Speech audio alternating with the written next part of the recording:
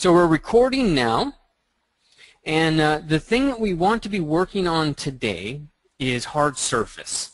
Uh, hard surface number three, or part three, however you want to phrase it. Uh, let me bring that in, actually, so you can get a sense of what we're gonna what we're gonna talk about. So the first thing, hard surface three, we want to make sure we're talking about is um, is just a little design tip let me start my drawing program. So we're going to look at Quick Sketch. And uh, the important things for me there are making sure that you know how to get into and out of Quick Sketch. Uh, then we're going to start creating parts.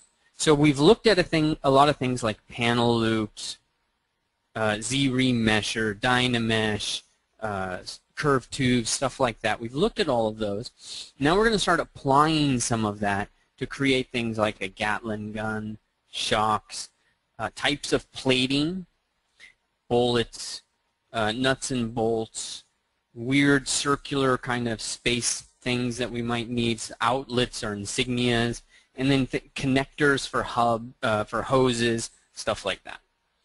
So we're going to look at creating parts first. Then we're going to get in and start looking at this insert multi-mesh and the insert mesh brush.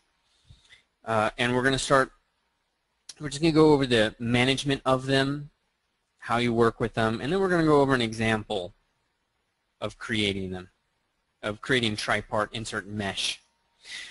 Once we've got a sense of parts and a sense of the brush, then we're going to go in to um, start creating our mech character. And so I'll show you, you know, we're going to put an actual human in there. We're going to pose him in some basic pose and, uh, and then start to see if we can build out the concept that we created.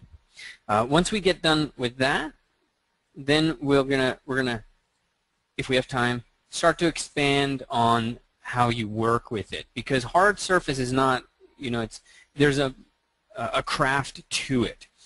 So uh, it's just like doing the uh, organic sculpting. You have to start with, or you have to block in forms. Block in is always important, and then you just start to refine. Now, in the case of mech stuff, you'll block in forms like have a human that you start to pull things off of, and then you instead of re refining, you might go to say extracting shapes, and then you might go into something like duplicating and uh, really getting a bunch of these plates and pieces and then you'll go into refining and adding line work, uh, things of that nature. Uh, so we'll start talking about that with Topo Brush, further expansion, and then we'll definitely look at uh, the other insert mesh brushes and the stuff that shifts with it and how you can control uh, control that stuff. So is my audio coming around, coming across okay? Can Did it break up for anybody? Are we ready to jump in?